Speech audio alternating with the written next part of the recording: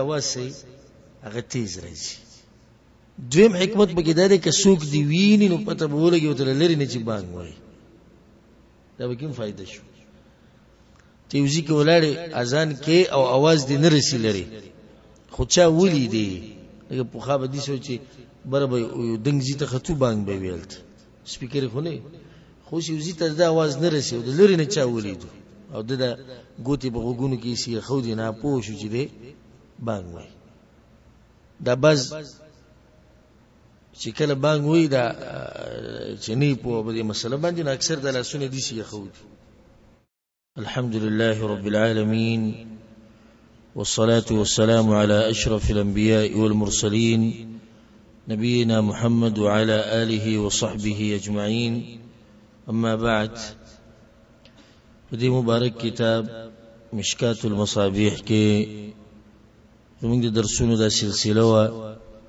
او په دې کې مونږ د منځه د اودس مسائل تفصیلا بیانول د دې لپاره چې مونږ د عظیم عبادت چې هغه مونږ دی چې د هغه طریقو کو په کومه طریقه چې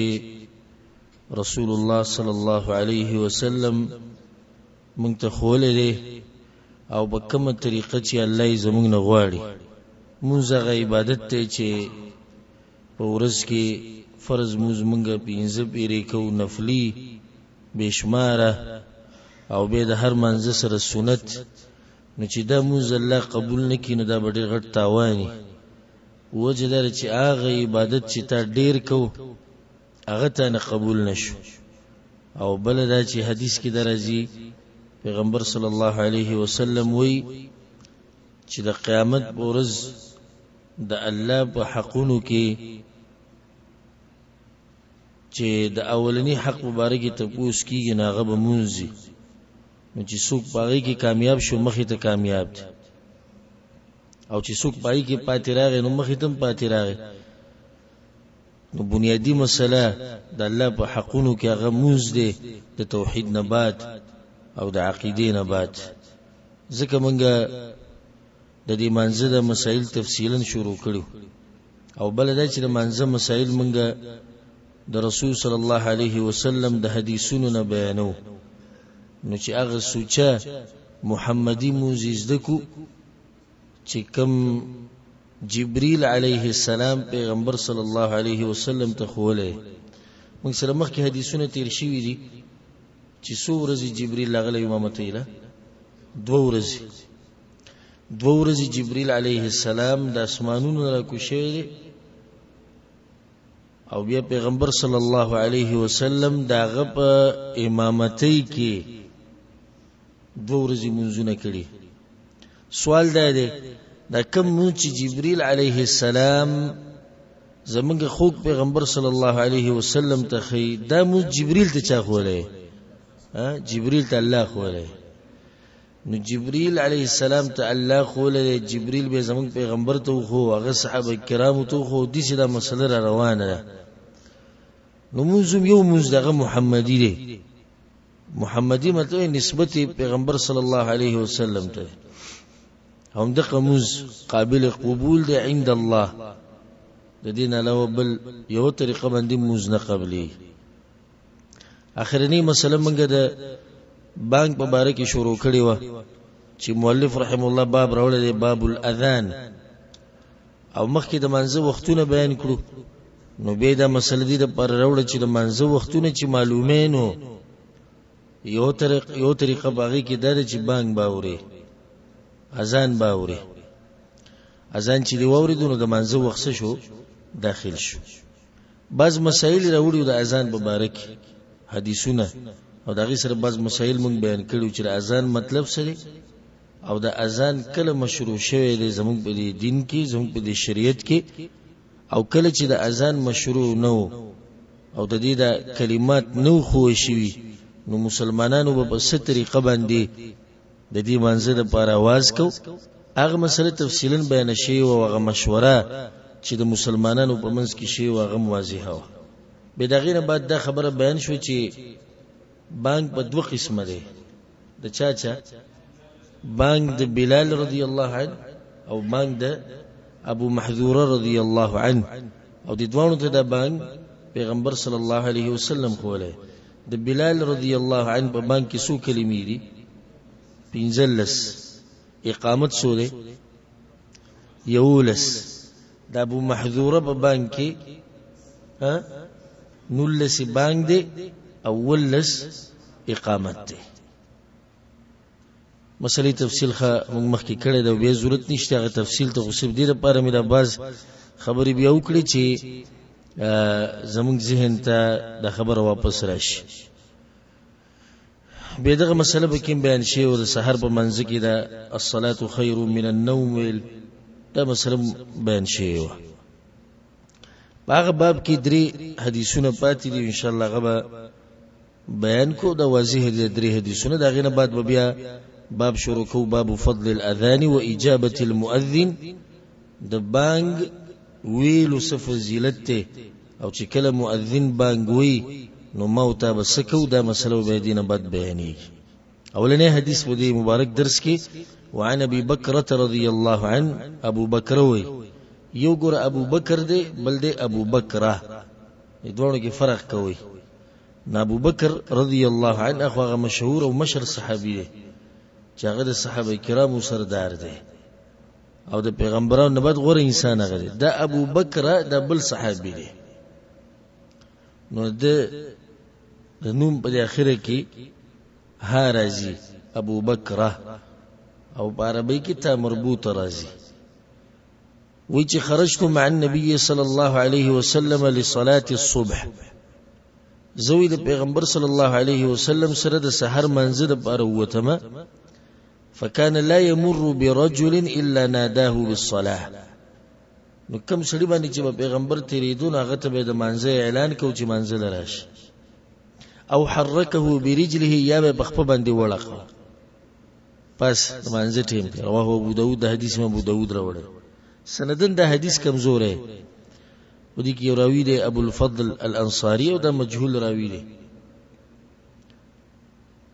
سحر منځ د پر دی وجه پیغمبر سره وته مو په کم سړی چې به تیرې دوه غته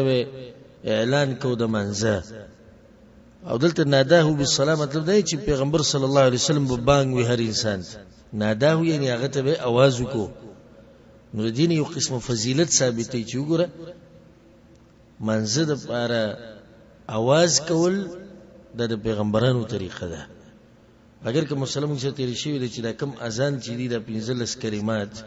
د پیغمبر صلی الله علیه وسلم چې د بانګ ویلې نه ها د تعلیم په باب کې ویلې یعنی یو صحابي ته بانګ خي ناغه ته ویلې چې دي سی به دي سی به خو پیغمبر د منځ د پر بانګ دا نه دی ویل خپل ژوند کې اباز عوام د درو قصې اورېدلې د بازو مليانو نه او د امیرانو صاحبانو نه وی پای کې د دې چې پیغمبر به بانګ ولې نه وی وی کچرته بانګ ویل نو دا ګټه ونی او دا د هر سمانځ دراتلو دا منګړت روایت ته دروغ دی شي پیغمبر بانګ بدین دی ویلې چې هغه مشغول د امت په مسایلو کې یو بل چې هغه امام او دا مسله مونږ سره تیر شو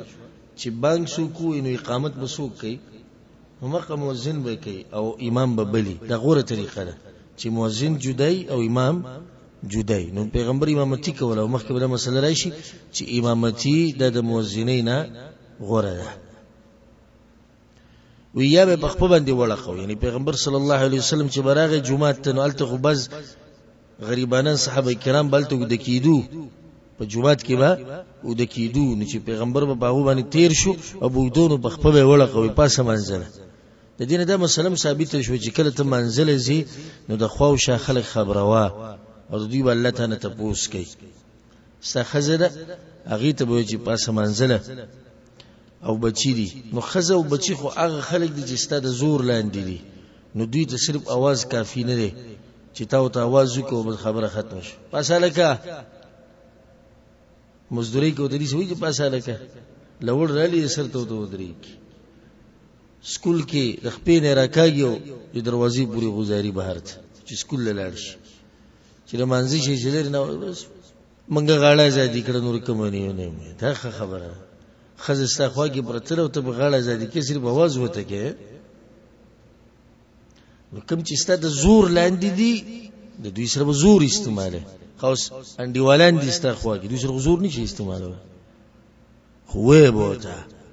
و یو غوسه کی غوسه کیږي دي خو ته خپل غاړه ازادي کې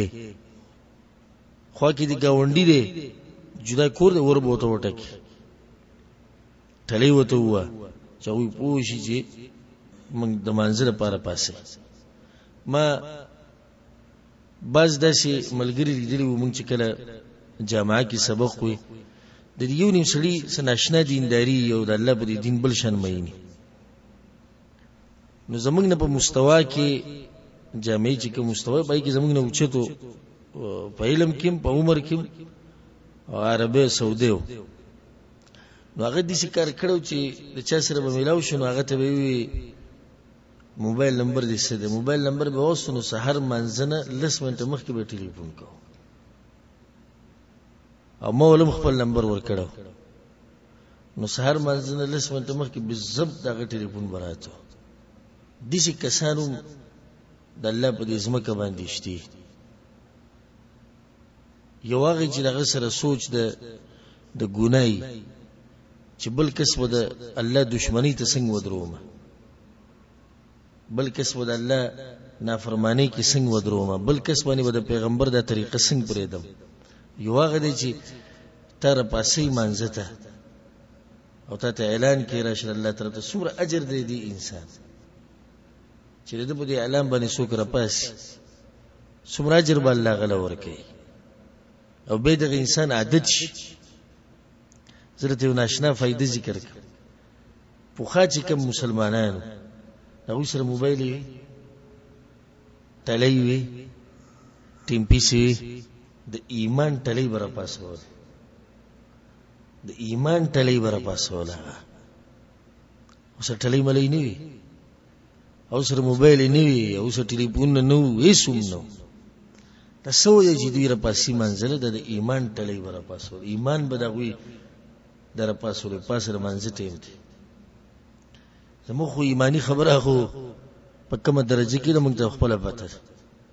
خو په دې ټلوم نه را پاسو د کومې جوړې شي موبایل کړنګي او دا کړنګي اسی دې کړنګي او ځکه دا فایده یاد ساتئ چی کوم سړی د شپې اوده شو قسم درته خورم د کعبې په رب باندې چې کوم سړی اوده کېدو او سو فیصد عزمي چې منزل را پاسم الله یې را پاسي الله یې را پاسي کې تجربه وکړي ها نادرن کې دي شي نادرن ویم کله نه کله چې اوده پاتې شي خدا همیشه نشي کېدی بغیر د ټلیفون نه راپاسي سبحان الله ته چې ستري کولو کې مؤذن به بانګ وي یا ته چې ستري کې اسی کولو کې کټ کې باوړي راوړي بانګ ته جوګره غړي دوره په زمنټ پاتې دي ولس منټ پاتې چاره پاسولې الله ملائک مقرر کړی د علما وي وي دا ملائک الله د ملائکو په واسطه باندې انسان را پاس سکار ول پیدا کی تګیش یا په دې کټ کې په یو طرف ستړی شي یا خوب ویني په هغې سره پاسي چې ګړۍ ته وګورو د لمانځه ټیم دی چا راپاسو دی او دغه بل چې پروت دی هغه راپانه سي د الله طرف راپاسي ولې ځکه چې د اراده پخه وه یو هغه دی چې موبایل هم په ټیم خو زړه کې در پاسېدو اراده نشته د موبایل مسغه عادتي زمړ کرا پاسي دته کې سل موبایل هم پټین کې دین را پاسي او چې درې چې د اراده نه په اصل کې د منځه ته را پاسې دو خبره مې دی پر اوسه چې دي مسلمانانو مشتي چې تا نه موبایل نمبر والی ته ټلیفون کې چې منځه را پاسه نو د په خوښه کې چې کم دی هغه ته بده نه وي چې منځه را پاسه خزي ته بنوي کې څنګه ولې به نه وي بچو ته ګاونډي ته د دین بعد کنه را پاسې د استاد انډیوال او استاد ګاونډي نو تا خپل کار وکړو د تپوس په بیا الله کې چې ولې نه را پاسې د ولې منزل نه راتو دغه بعد حدیث ته وعن مالک رضی الله عنه مالک رضی الله عنه چې بلغه امام مالک وي وي ماته دا خبر رسیدلې ده د الفاظو ته ګورو ماته دا خبره را رسیدلې ده د دین معلومه کې چې د حدیث سندن څه دی کمزور دی چر رسول دا خو خای کنه الله څنګه د دین حفاظت کوي د دې لپاره د چې سړی پیدا کړی دی چې د شي ته کمزوري خبره راوباسي لکه د وړونه چې وختره وباسي دا کې دې پاتې شي مونږ ته نه پته چې کوم ځای ته ورسېدلې امام مالک وی ماته دا خبر رسیدلی ده چې ان المؤذن جاء عمر يؤذنه لصلاه الصبح د عمر فاروق رضی الله عنه په دور کې دغه چې کوم مؤذن هغه راغی اجازه دې ته غستو د سحر د بانګ د پاره فوجده نائما ویل دغه ودو فقال الصلاه خير من النوم دغه په خوا کې دوی الصلاه خير من النوم امير المؤمنين ومنز غره دې د سنه د خوبنه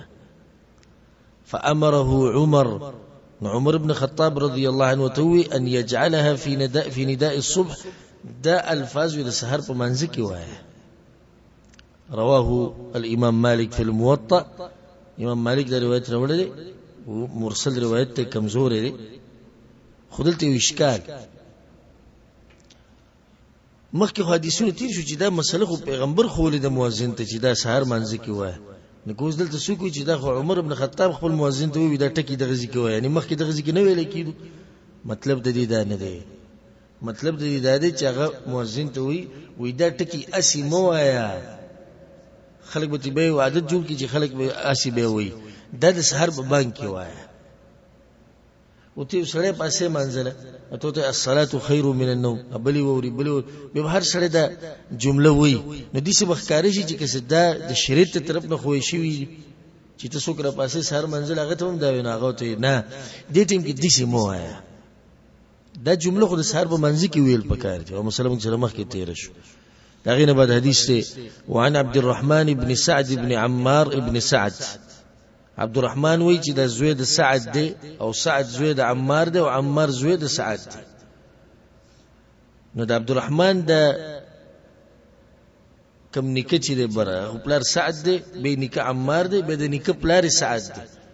د سعد چې دی مؤذن النبي صلی الله علیه وسلم د پیغمبر صلی الله علیه وسلم مؤذن دی او دته ویل کیږي سعد القرض په دې مشهور شعر دی په القرض او القرض په عربی کې د د کیکر دی ونی ته وي دی پانو ته وي وجه د هغې درې چې دی یو پیر راغی پر رسول صلی الله علیه وسلم پسې ورته وي غریب شوی یم ډېر او غریبی را باندې ډېره شوې ده نو هغه ورته وي تجارت کوه په تجارت کې الله برکت اچولی نو د سر غسنو چې تجارت به کړو نو د کیکر دا پانی د خرڅول شروع کړو الله بای کې مالدار کو نو باغی د مشهور شو دا پانی په پوخه استعمالې دي په ډیرو کارونو کې د صابون په ځای باندې او د سی په بل څه کې به استعمالې دي د سرمنی به په وچولې پای کې می استعمالي نور په ډیرو کارونو کې استعمالي چې په هغه وخت کې د دې ضرورت وو نو بس بیا دې په هغې باندې مشهور شو نو دې ته ویل کېږي سعد القرض عبدالرحمن وایي چې ما ته زما پلار دا خبره کړې ده هغه د خپل پلار نه اورېدلې ده او هغه اورېدلې د عبدالرحمن د نیکه نه أن رسول الله صلى الله عليه وسلم أمر بلالا أن يجعل أصبعيه في أذنيه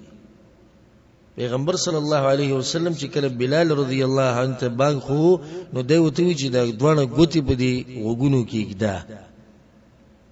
وقال او دی وته انه ارفع لصوتك اواز به دی تیزی ګره دی سره رواه ابن ماجه دا حدیث ما ابن ماجه راوړی مسله د ګوتو په وګونو کې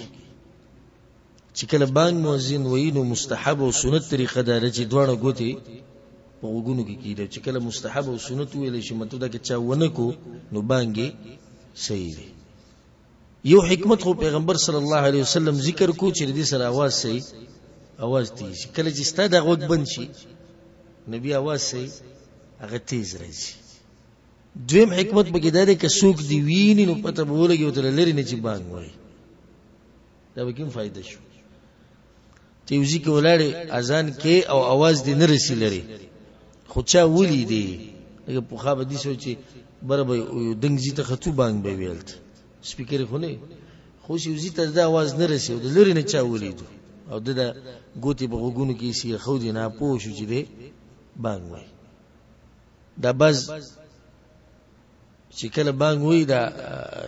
چې نه په دې مسله باندې نو اکثر د لاسونه دي شي خو دي اسی د لاسونه په غوګونو باندې خو دي او طریقه دغه نه ده بعضو په دې سڼو یې خو دي شات او بعض ناشنا خلکوم شتي چې د حدیث ویلې د بمولیانو کې نغوي ان یجعل اصبعيه في اذنيه نو ودی ګرځي ګوتی په غوګونو کې ودی ګرځي مطلب نه کی دی دغه د ګرځولو مطلب دغه د ګرځولو دا غسته نو تاسو بریدي دلته اکثر د بوډاګان د بانک چوي د غوګونو یې خوځي دا طریقه نشته کوته وبګي دی خدا به کې نشته چې ګوتې وبګي تاوی تا وهل پکې نشته بل مسله غوګونو کې ګوتې خو د اذان سره تعلق ساتي د اقامت سره نه اقامت په کوم کې د ضرورت نشي ځکه چې اقامت خو اعلان دی د خلکو ته کوم چې د جمعات کې دي او غوي داوري دا حدیث سندن کمزورې دی دا مسله د نور حدیثونو ثابته لري چې روان دي ان شاء الله صحیح حدیثونه وجه دا ده چې د دې سعد رضی الله عنه سعد ال القرض د دې د بچي د محدثینو په تل کې ټول کمزوري دي د دې زوی عمار بیا د غزوه سعد بیا د غزوه عبد الرحمن ځکه د حدیث سندن سره د کمزوري خد محدثینو په تل کې کمزوري کېده مطلب دا نه چې بی دین دی ګوره د دې حدیث ته بیانولو لپاره خپل ډیر مضبوط شروط دي چې هغه په هر چا کې نشي پیدا کېږي لکه اوس دسم کې دي چې یو کس ته حافظه کمزوري ده مازیګر یې یوه خبره وکړه، ماسخوتن ترې یېره دی چې ما کومه خبره کړې وه. ماسخوتن یې یو شان خبره وکړه، سهار یې بل شان وکړه، که دې سړي حدیث بیان کو او سند کې دی راغی، دا حدیث به نه قبلېږي. ښه دا سړی بېدینه دی؟ ها؟ نه بېدینه نه خو څه دی؟ حافظه کمزورې ده. نو کېدای شي دې د یو خبرې نسبت پیغمبر ته وکړي او هغه هغه نه وي ویلي. او کې دي شي دی خبري نسبت بل چاته وکي او غیر پیغمبر حدیث نو لازم نه چې محدثین یو سره کمزورې کی دی به بی دینه نه کې دي شي چې بی دینه کله کله دي سمې چې بی دینه د لاسه رد کی لکه فاسق فاجر انسان بلکې د محدثین غو دومره مضبوطه تله ده وی پلانی کې د سي عادتو چې دا من خوارم المروءه دي خوارم المروءه د غره اخلاق خلاف دي د اوچتو اخلاق دا غنو ما حدیث نه غست لکه په غیدل یو مثال درکم زمون په وخت کې خوارم المروءه اوچت اخلاق دي یعنی یو دي کار کول چې اوچتو اخلاقو کې ناراضي نو د سړی دیندار دی هر څه حافظم تیز ده به به جمله غست مثال یو په لدر کې مګر کې مثالونه ګډي دي یو سړی دی روډ تر اوته دی سامان غستوله خدیندار دی حافظه تیز ده او په بنین او پرتوک کې راوته دی بارته په بنین او پرتوک کې راوته چې عام زموږ د کمیس پرتوک دی ډیره پرتوک دی او لاندې چې کوم نری بنین هغه چولې وې دې سړي چې رقم کار وکړو د اوچتو اخلاقو خلاف ته د دنه حدیث نه دی چې دومره سخت تللی او په دې کې یو حدیث صحیح ثابت شونه دا وسنګ حدیث او د دې د خلق د دې د انسانان په دې منځ کې چې راځي د سومه ټنګېدلي انسانان دي الله سبحانه تعالی محدثین په دې قبرونو باندې رحمتونو باران راووري او الله سبحانه تعالی موږ له توفیق راکړي چې دا غوي په نقش قدم روان شو دا غینه بعد باب راوړل دی باب فضل الاذان واجابه المؤذن باب بیان د دې کې چې د بنګ څه فضیلت د بنګ مسله خو بیان شو چې بنګ د ټیم کې مشروع شو طریقې او خو شو بنګ به دي سی وې دي سی به خو څه فضیلت دی څوک چې دا بانګ وي دله به الله څه ورکوي نو بیا ورسره دویمه مسله تړلې راوړه او د مؤذن د بانګ جواب ورکول سبحان الله دومره غټ عقل او دومره تیز دماغ الله دې علماو له ورکړي دا دوه مسلې ولې یو ځای راوړي ګوره تا ته وي وي د مؤذن څه فضیلت دی اوس به تاغه حدیثونه ووري چې به کې د مؤذن فضیلت راغلی نه ډېر اوچت انسان دی نو مؤذن په پوره کلی کې وسو مؤذنین یو یا دوا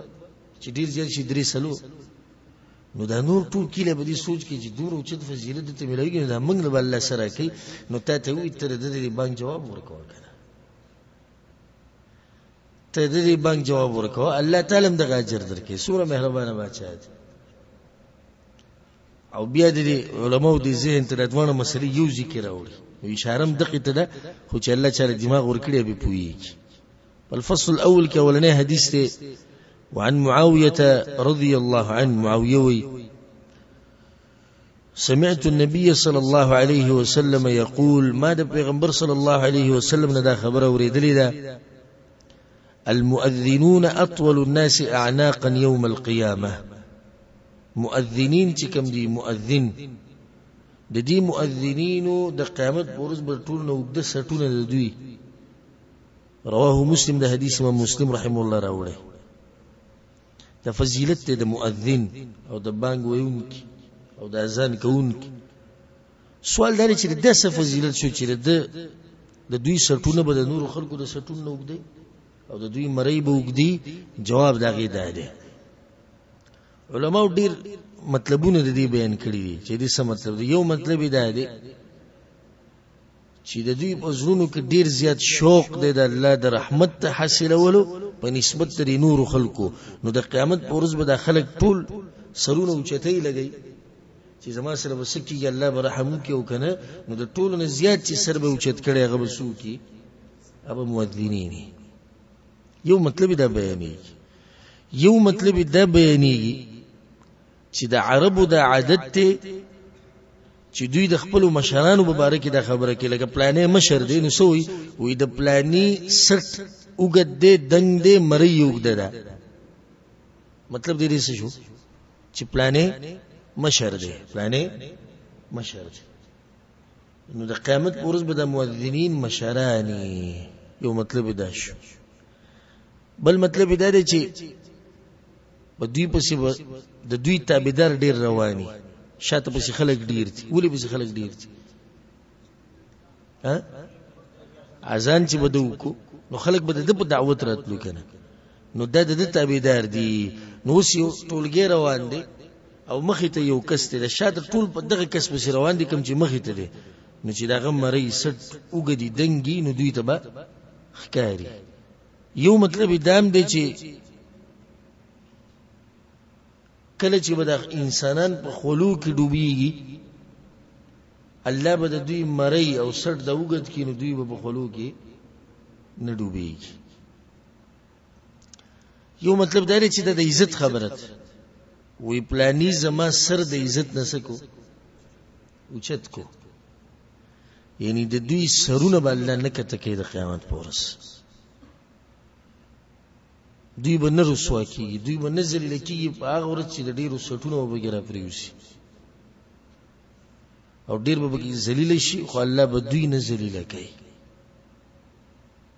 واضح ده ټول خبرې به دن راځي او دا په حقیقت باندې مبني خبره ده دا حقیقت ته مجاز نه دی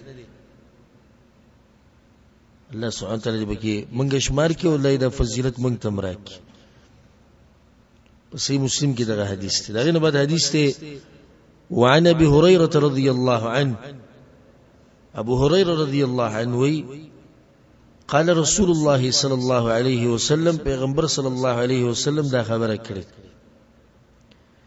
اذا نودي للصلاه کله چې د منځد پر بانګوي شي ادبر الشیطان شیطان و تختی شاکی و تختی له درات او شاکی وتختی او اواز تیوزی درات پر ربی کې د هوا وتو سر اواز وته حتی لا يسمع التأذين چې دې دا بانګ وانه وري چې دې دا بانګ وانه وري دې مسلول راځو چې دې ولې دې سي تختی فإذا قضي النداء أقبل کله چې بانګ ختم شي شیطان بیا راشي حتى إذا ثوب بالصلاة أدبر نو کله چې د منځ د پر اقامت شي نو دی بیا وتختی حتى اذا قضي التثويب اقبل نو چې اقامت ختم شي دی بیا راشي حتى يخطر بين المرء ونفسه اقامت چې ختم شي دی بیا سره راځي وې د دې لپاره راځي چې د انسان په دې نفس کې د توسوسه او سوچونه واچي يقول نو دی انسان ته وی اذكر كذا اذكر كذا لما لم يكن يذكر هغه پلاني خبر راځي دکا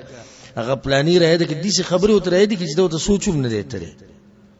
حتى يظل الرجل لا يدري كم صلى دومره مصروفه کې به دي سوچونو کې پیغمبر صلی الله علیه وسلم وی وی دي سړی ته به د منځنه بد پته مونږ لګي چې مسور کاته کړی دی به سوچ کې شي دغه موږ به سکی ابي خراب کی متفق علیه د حدیث په صحیح بخاری صحیح مسلم کې واضح شو چې شیطان تختی د بانګ نه دلته د بانګ نه مسله سیب دانه د مراد چې د هغه بانګ نه تختی چې هغه د منځه د پاره ویل کی که اسی بانګ دی موي نو شیطان تی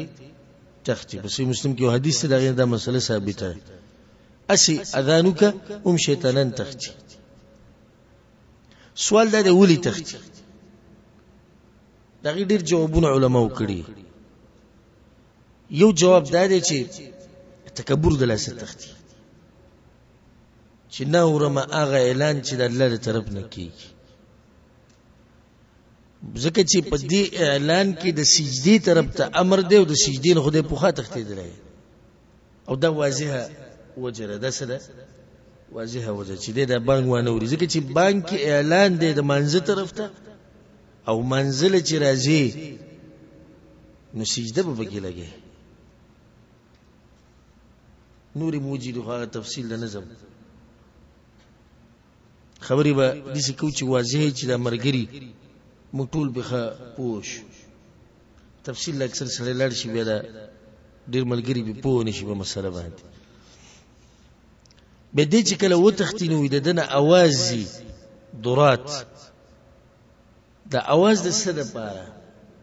د خیم ډېری وجې دی علماو بیان کړي یو وجې دا چې د یری د لاس او د رعب دلاس د مؤذن په دې کلماتو کې دومره زور دی دومره رعب دی چې دی ویرو د یری دلاس د باندې دا چلو شو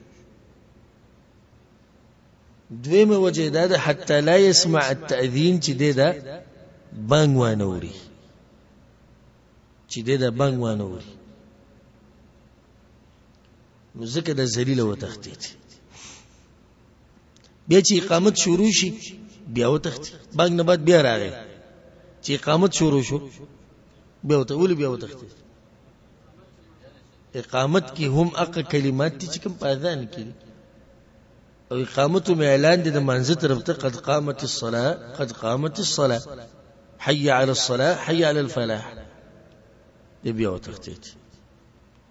اوس راغی بیا دا چې بیا راغی نو په موز کون کې باندې موز خرابولو د پاره راغی او حدیث نه ثابت ده چې خاص شیطانان دي دا ودس ته پاره هغه په وداسه کې انسان ته وسوسه اچي نو دغه شند منځ د پاره خاص شیطانان دي چې هغوی په انسان باندې مونځ خرابوي ځکه دې ځکه زما هغه رونو او خویندو ته خاص نصیحت ته کوم چې د وسوسو په دې بیماری کې پراته دي چې ځان شیطان ته مت تسلیموي ځان شیطان ته مت تسلیموي په تاسو باندې لوبي کوي تاسو پورې خان دي او ته ول خبره مانی د دې مورانه بیماری ده چې دې څه کسان شتي زما خو راغلي زمانه ته پوس کړي لس پیری نه پینځه لس پیری نه وی شل پیری به کې کله کله ود سوک زیو راځي زیو راځي دا پلاني خبر ورنه پات پلاني پات پلاني پات بیمار لیونه شي د شمنځ کې ګور دی حدیث کې واضح دی وی په منځ کې وته سوی دی سی وکا دی سی خبر را یاد کا پلاني را یاد کا پلاني را یاد کا دومره په دې سوچونو کې واچي چې بیا د منځه د رکعتونو هغه عدد هم نه معلوم یو حدیث کې دام دی چې دا شیطان د انسان په دې کوناټو پورې لوبي کوي د دې لپاره چې د په دې وسوسه کې شي چې مانه کسو ستلی دي زمو د سمات شي په دې د مونږ خراب پول واري نو د شیطان د وسوسو نه ځان بچ ساتي او راضي بدته لکه دا موږ نشو ویل چې دا د بی دیني علامت ده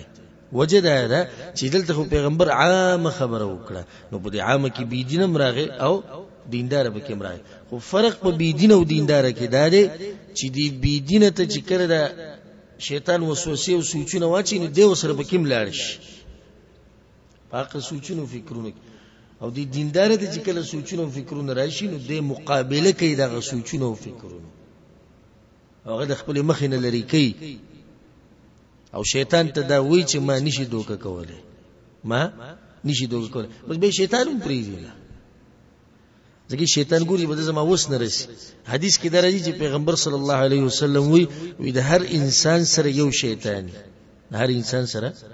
یو شیطان لازم نو صحابه کرامو ته پوښتنه کوي یا رسول الله تاسو سره مشت وی ما سره مشت خو مسلمان شه ولی مسلمان شه دا وس نه رسی د دې سره زه څه وکړم پیغمبر به څنګه راړې د الله نه فرمانه ایت نو خالی داري چې مسلمان شي نو چې کله شیطان دا ویني چې ته داغه نه مني نو بیا به تا نه قلار شي او چې ته داغه خبرې مني او مخې ته پکې زی او مخې ته پکې زی نو بیا ته هغه ته خپل لار کولا وي ځکه د امام احمد بن حنبل رحم الله مبارک رضی او باز نور سلف مبارک چې هغه ورځ په منځ کې ولاړو د ګوتی دي شي کړې دوا ته دوه ګوتی دي شي چې به د ورسې شاګردانو امام سوي ګوتی دي دوا یو شیطان راته وی چې ودستی صحیح نه دی وسوسه وتا چې وي مو ته چې دوه گواهان به پیخه اسی خبره خو نه منل کیږي ته ما ته وی چې ودستی مات ته یوه کړه په منځنه وزم چې ودستی مات ته او دا مسله موږ سره تفصیلا د طهارت په مسایلو کې تیر شوې ده نو د غرونو او خويندو ته موږ دا وایو چې دا وسوسې او سوچونه او فکرونه پرې دی د دې اثر نشته یو سړی د مونږی وکړو د منځنه باندې ذهن کې لرو چې ما به دوه رکعاته کړې کډري مونږی صحیح دی او دس نه باندې په ذهن کې لرو ما لا سینځلې به کنه ما به سر باندې مسه کړې کنه موږ ته او دس تسری صحیح دی ځکه چې د عبادت نه بعد وسوسه د اثر نه کوي دا غینه بعد حدیث ته وعن ابي سعيد الخدري رضي الله عنه ابو سعيد الخدري دا خبره کړې ده وی چې قال رسول الله صلی الله علیه وسلم پیغمبر صلی الله علیه وسلم دا خبره کړې وه وی ماته اوریدلې وه لا يسمع مدى صوت المؤذن جن ولا انس ولا شيء د مؤذن اواز چې کم زی ترسي که پیریانو ترسي او که انسانانو ترسي او که هر څه ترسي الا شهد له يوم القيامه د قیامت پر ورځ به د مؤذن په باره کې گواہی ورکړي رواه البخاری د حدیث امام بخاری رحم الله راوړي څومره اوچت فضیلت مؤذن اذان وک دا اذان چې کم زی ترسی او کم انسان اوري او کم پیری اوري او کم مخلوق اوري د قیامت پرز به گواہی ورکي قیامت پرز به گواہی ورکي چې او یا الله ستدی بنده من برا بللو د مانزه طرف سمغه فضیلت د دین دا مسلم ثابت شو چې دا اذان کیزان له یوازې په صحرا کې اوسېږي هم اذان بکې وجه سره وجه دا دی چې اذان چې ته وکړو دی بانګ دی وی ته د فضیلت ملاو شو کنه دا واز خو دی ورسېدو چاته کنه که انسانانو ته ونه رسېدو چاته ورسېدو پیریانو ته ورسېدو نورو مخلوقات ته ورسېدو چې فضیلت خو ته ملو شي دوی مده یو حدیث کې درځي سبحان الله وی چې کم سړی په صحرا کې او دې بنګوي اذانو کې او به په منځ باندې ودرېږي یی کې आवाज دی پیغمبر صلی الله علیه وسلم وی د الله دې مخلوقات شته چې دې نه نه غیر د سره باندې کولاړي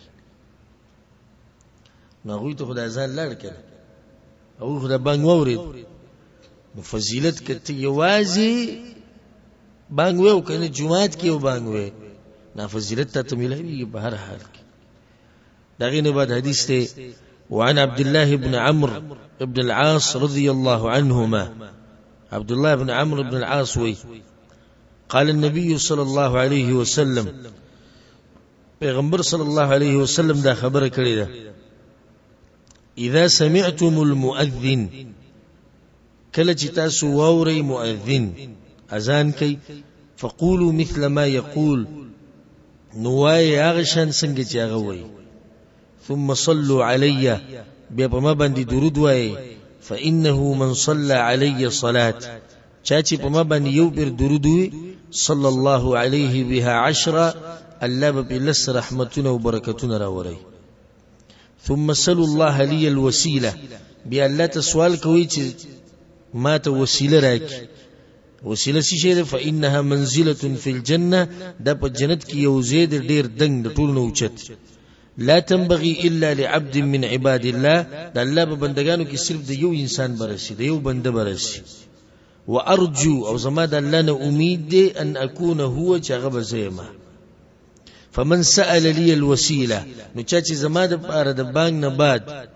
وسیله غوښته د الله نه حلت عليه الشفاعه نو زما شفاعت د د پاره حلال شو جایش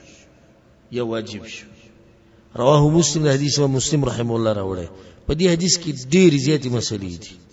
ډېر زیاتې خو زبت یو څو بیانو اولنی مسله موږ سره مخکې تیر شو د مسلو په باب کې چې مؤذن باندې وی فضیلت ډېر دی او په روایت کې د سره دي صریح چې با صحابه کرام رالو په پیغمبر صلی الله علیه وسلم پسې یا رسول الله مؤذنین زمنګ نه وګټله چا وګټله مؤذنین وګټل ولي دغه چې هغه ته دومره اوچت اجر ملوي نه د مو خوشاته پاتې شو پیغمبر وته وی نه تاسو نه پاتې هغه چې څنګه وي تاسو یې وایي تاسو له بم الله غا چر درکې نو دې ځکه مسله بیان شو د مؤذن جواب ورکول د مؤذن د بانګ جواب ورکول او د ستی جواب په دوه قسمه دی یو فعلی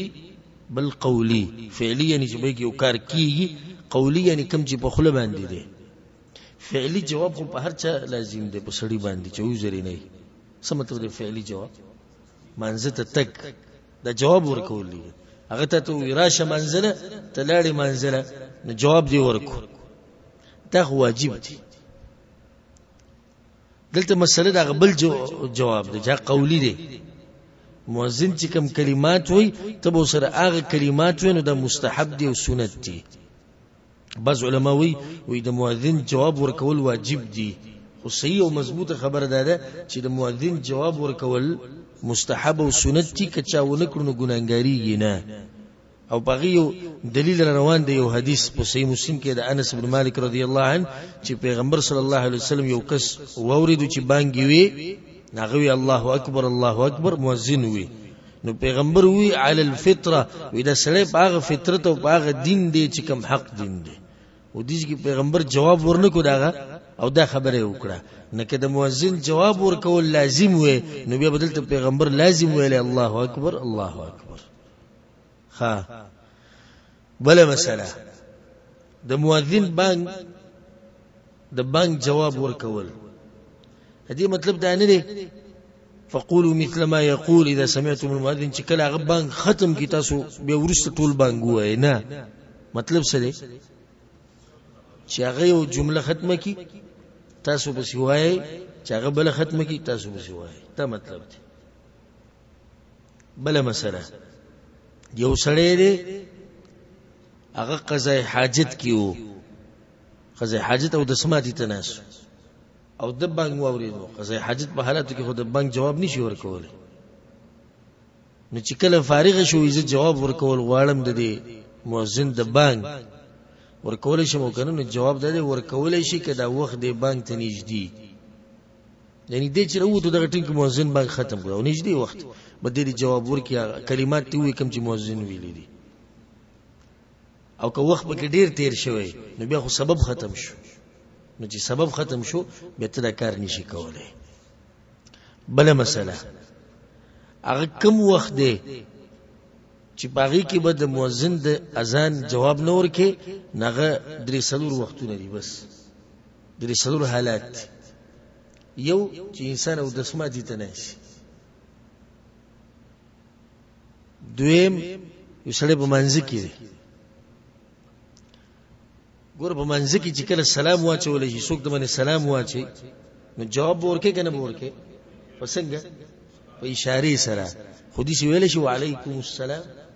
نشي حالانکه د سلام جواب ورکول واجب دي که مستحب دي واجب دي مطلب دا شو چې په منځ کې ته نور څه نشي ویل نو څنګه پکې د مؤذن هغه کلمات وي هغه دومره وګد دي او بل دا چې هغه جواب ورکول لازم هم نه دي سو حالت شو دریم حال یو سره خې سره کورواله کوي کورواله په حالات کې د دې حالاتو نه علاوه چې هر حال کې د مؤذن د اذان جواب ورکولای شي بل څه ممنوع حال نشته چې هغه تاسو ته بیان کړم د دین علاوه یو سړی د قران وای یو سړی د کار کوي یو سړی د لیکل کوي یو سړی د درس کوي یو سړی د درس اوري هر حال کې چې د مؤذن د اذان جواب ورکول شي بل مسله چې کله په یو وخت کې د ډیرو مؤذنینو جواب واوري او اذان واوري نو د کم یو جواب ورکي دا هم مسله ده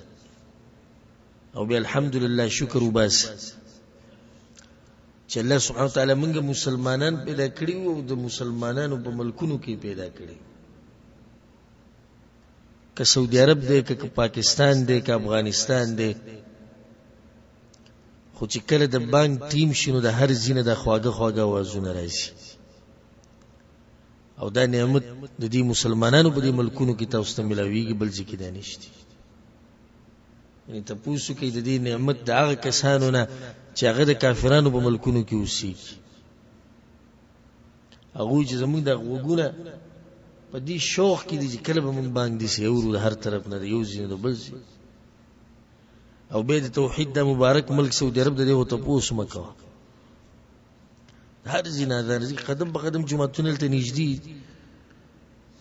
متوچت نعمت الله سبحانه وتعالى د نعمت په موږ باندې برقرار ساتي او د مسلمانانو ملکونو دی الله حفاظت وکړي او د مسلمانانو په ملکونو کې چې کومه بی دینی ده او بدامنی ده الله دې هغه ختمه کړي او کم فقر او غریبی چې هلته ده الله دې هغه ختمه کړي ما خبر دا کوله چې ډیر مؤذنین بانګ وي نو ته به کم یو جواب ورکې نو واضح جواب خو دا دی مشهور چې کم چې تا ولنه اوري دا اول سر نه چې ته بانګ اوري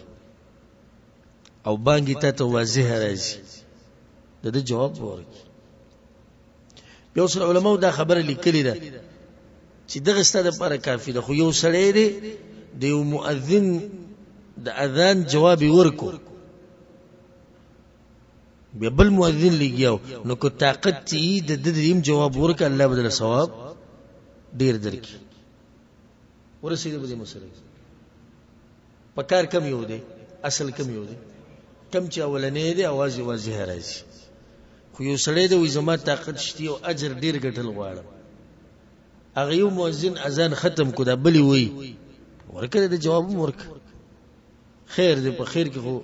چې څومره ډیریږي الله بدل اجر ډیری بل مسله فقولوا مثل ما يقول وې بدی هغه څه چې مؤذن وي هغه الله اکبر تب الله اکبر هغه اشهد ان لا اله الا الله تب اشهد ان لا اله الا الله هغه اشهد ان محمد رسول الله تب مدخش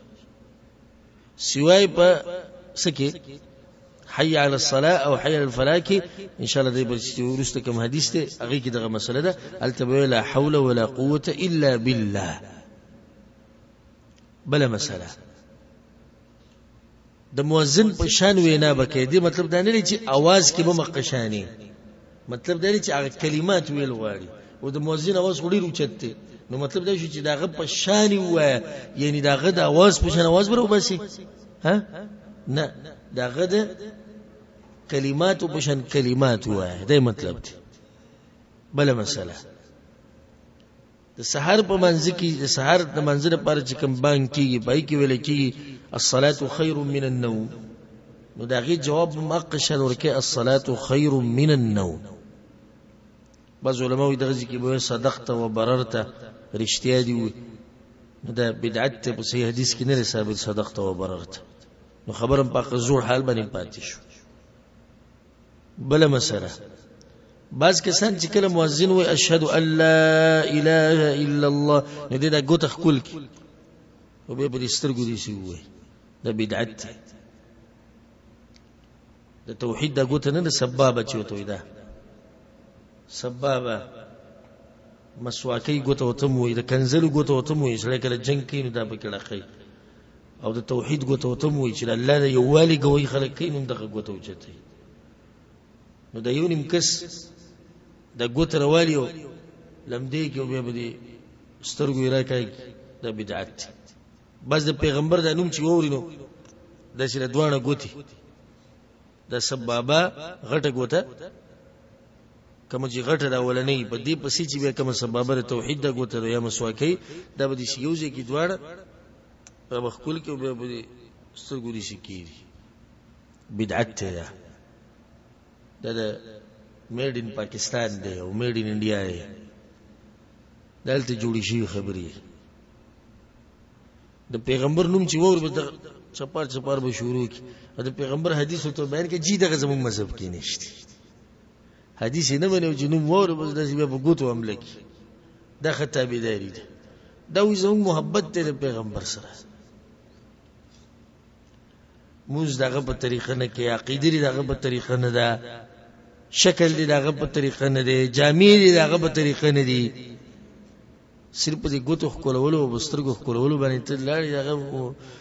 مضبوط تابعدار شو محبت ته ډیر شو دا ښکلول مولول نه که هر ځکي اشهد ان لا اله الا الله سره اشهد ان محمد رسول الله سره کده دین علاوه عام اوقاتو کې د پیغمبر نوم ور ښکلي بعض کسان چې د سترګې اومګي دي نو به سکی کولی یعنی مطلب دا دی زمونږ د خلکو طریقه دا ده اردو کو ته وی لکیر کا فقیر لکیر کا فقیر د تور ټکی لیونه ده چې قران کې کتاب کې ته کمزې کې ټکی ښکار شو بای بوسره وایي هلو وی کتاب کې راغلی کتاب کې خوري خبرې دي کتاب کې څه ومني هکې دا کتاب بریلی لیکلی کدا شیعه لیکلی کدا يهودي لیکلی نه سندي ته وګنه ګوري کتاب کې راغلی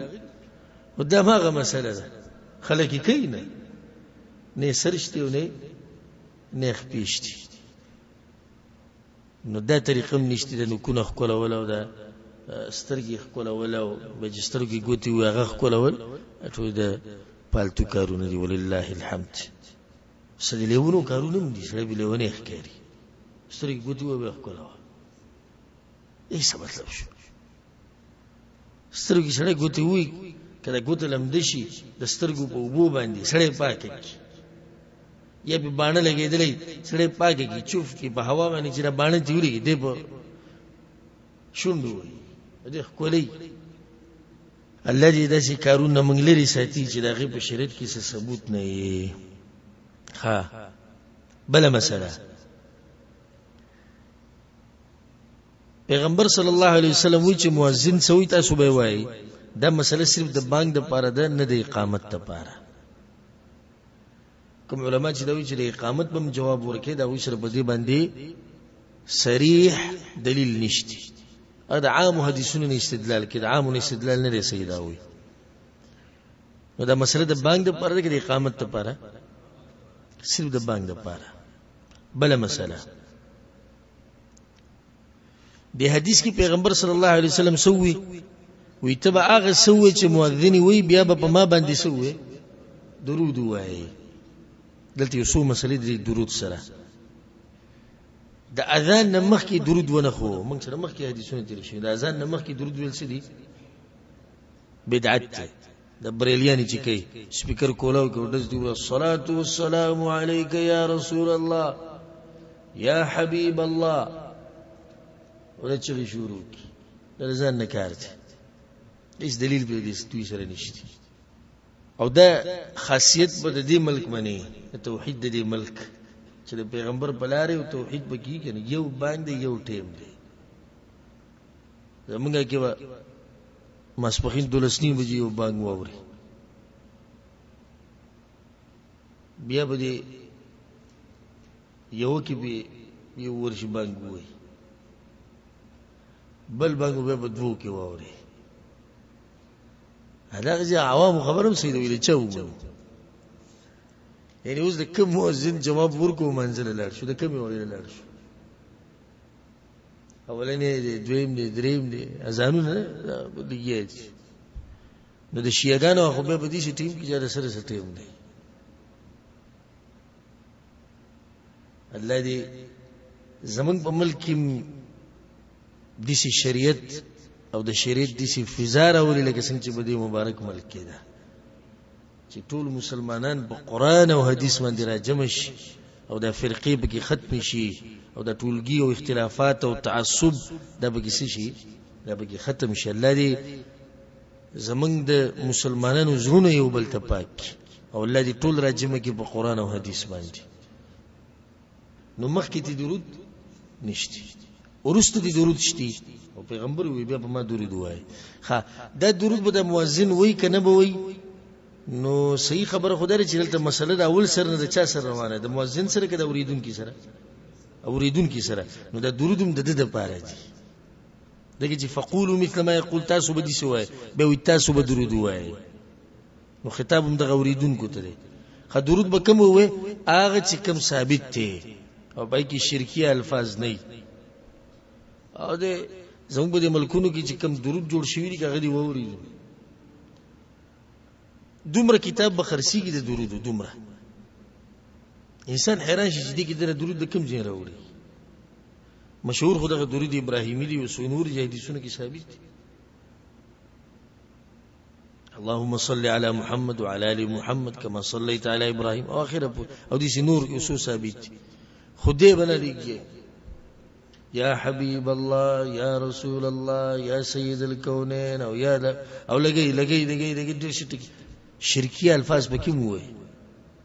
کله نه کله ته غوث وای غوث مطلب څه دی امداد کوونکې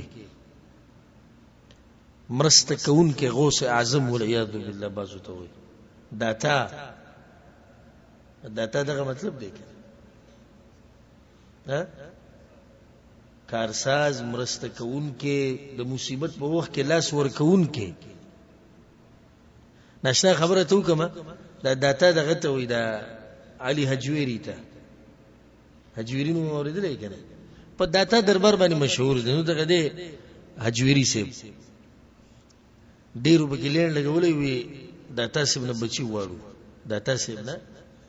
بچي واړو زړه ته ناشنا خبره کوم او شکر وو بس به خپل عقیده د داتا سیب خپل بچي نه وو داتا سیب خپل بچي نه نه د ما دغه په تاریخ کې ویلي مثلا کتاب پروت دی اردو او په کې د حجویری سي هغه سیرت په کې لګراوړل دوی ته دا تاوي چې دا تاوي منو بقولهم یعنی دا غوی د قول مطابق نور موږ الحمدلله دا تا غوث اعظم هر څه زموږ الله دی الله سبحانه وتعالى د دې حجویری سي خپل بچی نو او نه دومره زور چې نه بچی را پیدا کړي وي خو چې مړ شنو ورو لور کوي دا اوس ناشنا خبره نه ده کنه نه ناشنا خدا هم موږ ته موحدینو ته ناشنا ده وی نه نه دې کوم څه کمال خپل بچی ما غوي په خپل بند کړی کې دې شي دې شي چې کیدو خو چا ودرولي د بخپل داتا سي ودرولي وي ولې یاذ بالله الذي دې شي عقایدونه موږ لري ساتي نو درود به هغه درود وي چې کم معروفي او ثابتي او شرکیه الفاظ پکې نه وي ها بل مسله دې چې پیغمبر صلی الله علیه وسلم سوې وی بیا به زما د پاره سو غواړي وسیله خدا وسیله سی شه دی وی په جنت کې یو مقام دی پیغمبر وی زما امید دی چې الله به مال راکړي نو دې کې دوه سوالونه اهم اولنې سوال چې پیغمبر له الله ورکین نو به دې سی ویلوي چې زما امید دی چې الله به راکړي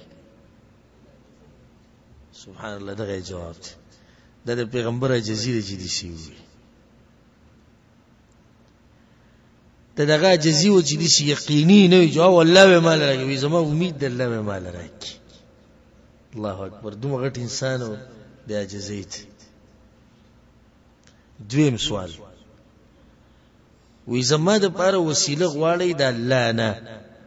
نو چې الله ورکی دی پیغمبر له موت ولولې غواړو چې الله پیغمبر له دغه مقام ورکي په جنت کې او صرف دا غدي چې دا غنو وسیله ده او دا وسیله په عربی کې اوچت زیته وي اوچت مقام ته وي او بل دوه معنی په کې دا پرته نږدې کېده نو د دوه معنی په دې کې صحیح دي وسیله په معنی د اوچت زی نو دا په جنت کې اوچت مقام دی وسیله په معنی د نږدې کېدو نو چې دومره اوچت ته خو نږدې دی چاته الله ته نږدې دی کنه نو دواړه معنی پکې دي نو چې الله ول ورکی دا وسیله نو موت ول ولي غواړو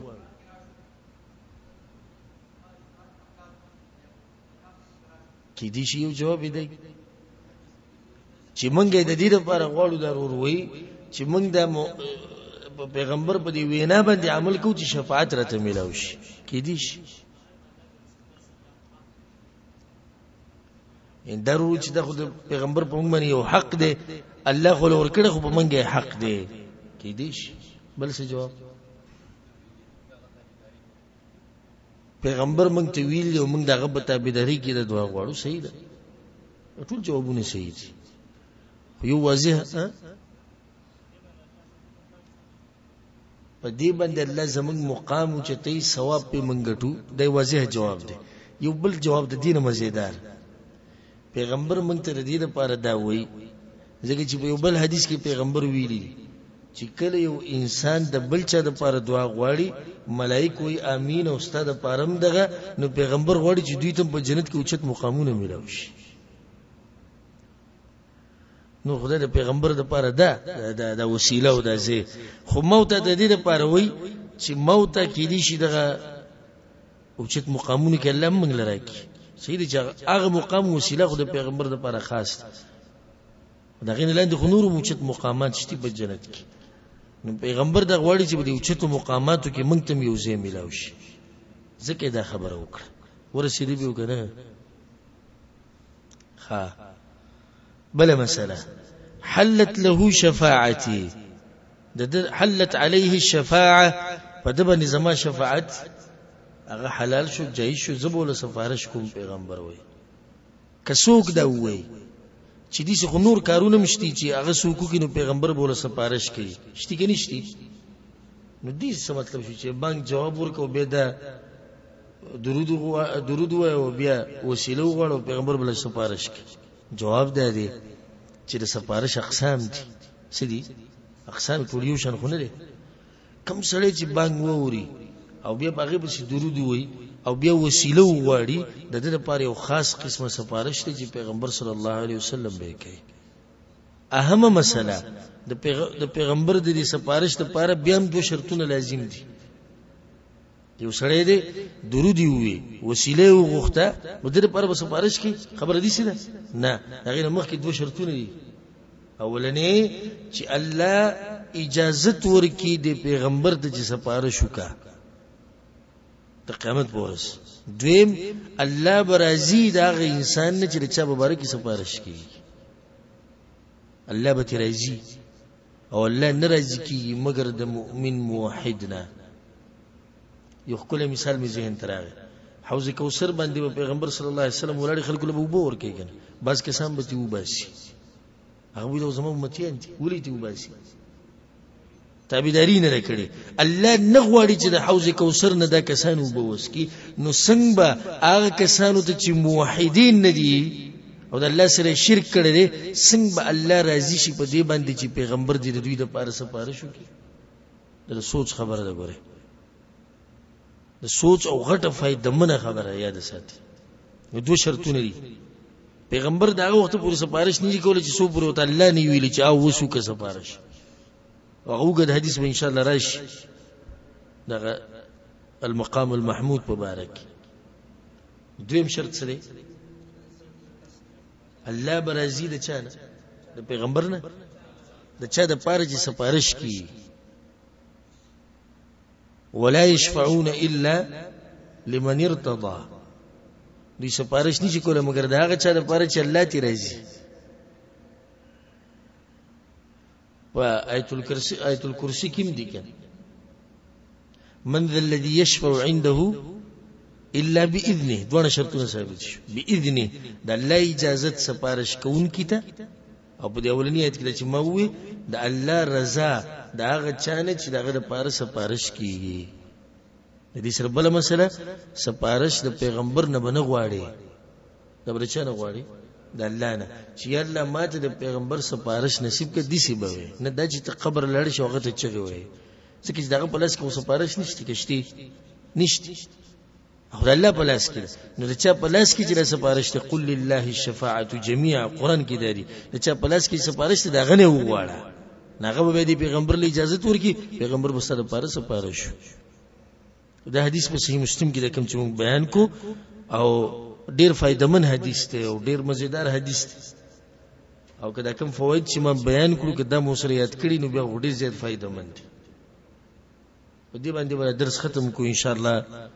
پر روان درس کې بیا کوم باقی حدیثونه چې د باب کې هغه پوره کو الله سبحانه تعالی دې موږ په کې قران او حدیث باندې او الله سبحانه تعالی موږ له توفیق راکړي